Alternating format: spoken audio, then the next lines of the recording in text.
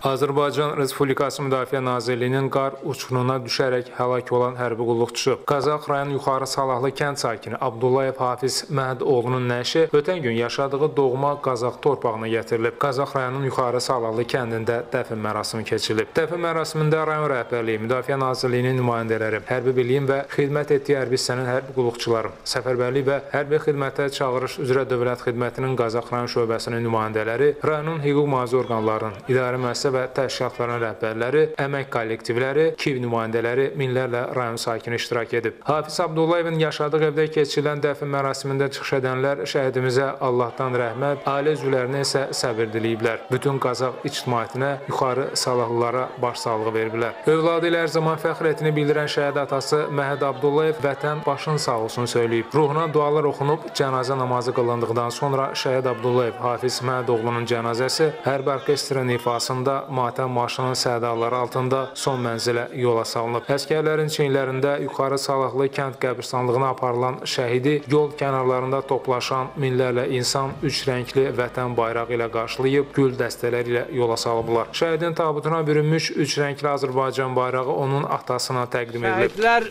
ölməzdi, vətən bölünməzdi. Başın sağ olsun vətən, başın sağ olsun Azərbaycan.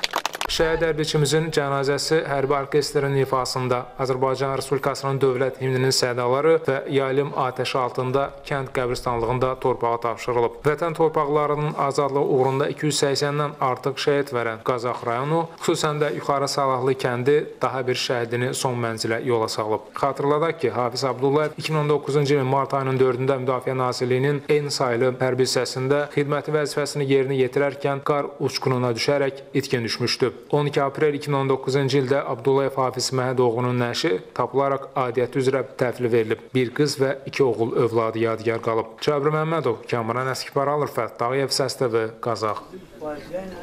Daim maraqlanmış. Allah sizə.